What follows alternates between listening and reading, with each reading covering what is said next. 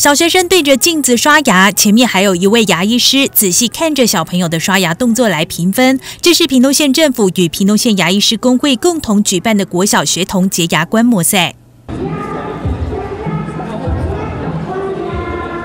比赛分为口腔卫生常识测验、牙线操作及闭式刷牙法等项目。学童吃下夹心饼干后，再使用牙线与牙刷来洁牙，最后抹上牙菌斑显示剂，由牙医师进行口腔卫生检查，以检测学生牙菌斑指数。屏东县长周春米出席活动，感谢牙医师工会支持，与县府共同合作推动各项健康政策，也呼吁学童们学习正确洁牙、使用牙线的方法，从小保护健康的牙齿。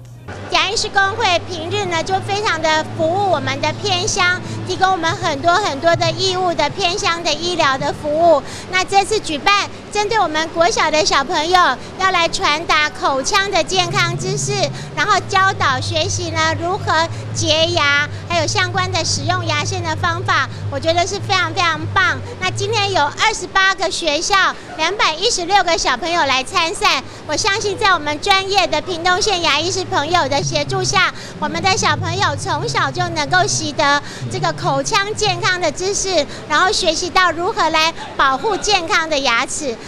这场洁牙比赛不仅是各校间的竞赛，更是各校口腔保健成果的展现。参赛学生们除了展示平时所学的口腔卫生知识及洁牙技巧外，会场旁也陈列了各校制作的创意海报，呈现校园口腔保健的成果。我们希望透过这个比赛呢，让小朋友养成正确的洁牙习惯，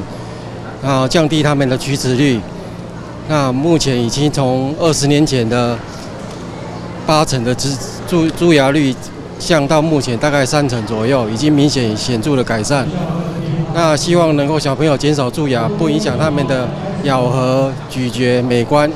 我们的口腔的清洁，对一个人的健康。慢慢的，大家都知道是有它的重要性的。有了很好的口腔的清洁，就会有一个后续的一个健康的身体。